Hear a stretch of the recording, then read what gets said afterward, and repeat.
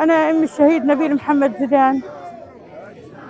استشهد نبيل في تاريخ 22 واحد 2024 وكان صائم وقام بقصف بثلاث صواريخ.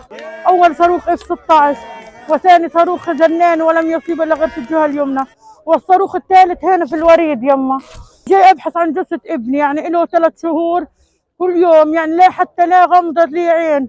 ولا سكتت إلي دمعة وأنا ببحث على ابني. ما خليت لا صليب ولا دفاع مدني ولا وزارة صحة. يعني حتى الشهيد اللي ألاقيه في الشارع أفتح عليه وأشوف ابني ولا لا.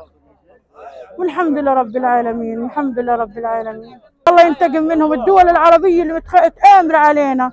الدول العربية كلها متآمرة علينا. إحنا إيش سوينا يعني؟ لما نتنياهو. إيران ضربت طيران مسيرة على إسرائيل الدول العربية تزعزعت. طب إحنا يعني أنتم متزعزعين على أمن إسرائيل. زعزع عليهم حسوا فينا. أنا كقلب أم حسوا فيا. حسوا في قلب إيه قلب أم محروق على ابنها. يعني إيش أقول لك؟ يعني وا- واحد متعلم مثقف يعني الحمد لله رب العالمين وبدرس في جامعة فلسطين. قانون بدرس واخر سنة له يعني الحمد لله رب العالمين. والحمد لله حي... حن... بإذن رب العالمين بإذن رب العالمين واذن الله المولى عز وجل. إنه أولادنا كلهم يعني قد ما تقتل يعني ت... يعني أولادنا حيطلعوا قد اللي قتلتهم الالوفات الألوفات بإذن رب العالمين.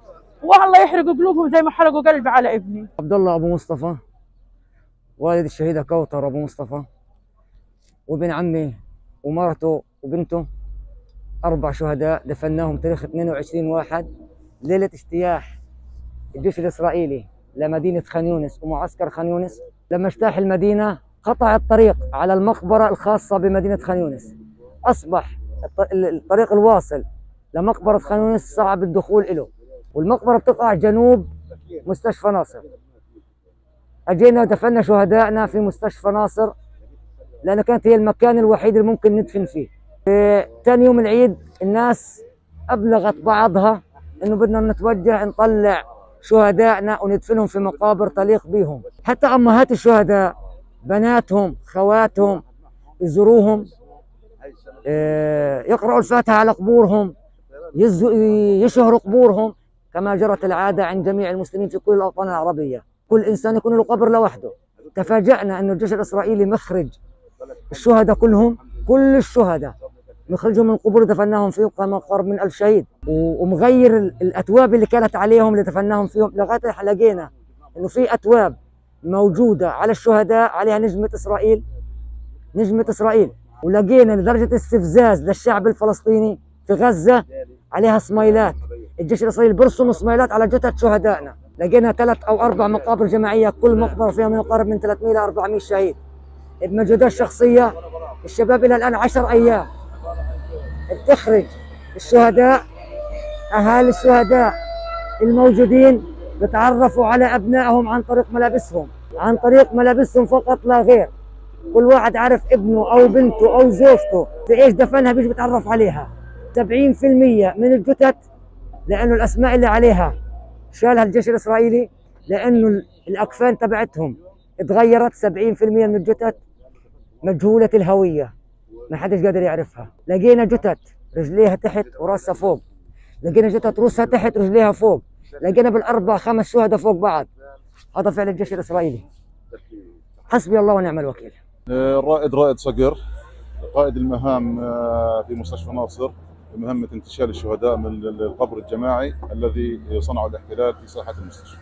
طبعا وردتنا بلاغات من قبل المواطنين والأهالي بوجود آه، شهداء مدفونين. قاموا الأهالي والمواطنين والطواقم الطبيه في مستشفى ناصر بدفنهم ومماراتهم الثاره في باحات مستشفى ناصر. آه، أتى الأهالي آه، والمواطنين لاستخراج شهدائهم لم يجدوهم. آه، أبلغونا بأنهم لم يجدوا شهدائهم ولم ولم يتم التعرف على أماكن دفن. توجهنا إلى المكان، اتينا المكان بطواقمنا وقمنا بالمعدات البسيطة المتاحة لدينا بالتحري ومعرفة وجود الشهداء وأين انتقل الشهداء بشكل عام في المكان. وجدنا أن الاحتلال قام بعمل قبر جماعي آه، حسب البلاغات الواردة إلينا- أن القبر آه، به مئات الشهداء. يعني وردتنا إشارة ب 400 شهيد، وردتنا إشارة ب 300 شهيد.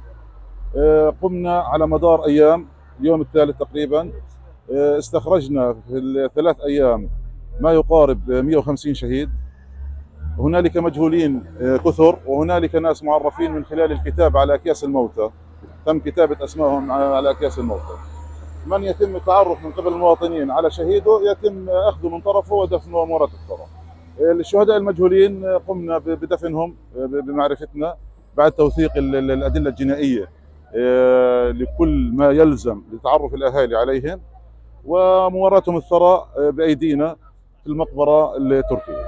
آه، طبعا اليوم أتينا بطواقمنا آه، لاستكمال عمليات البحث وانتشال الشهداء من المكان.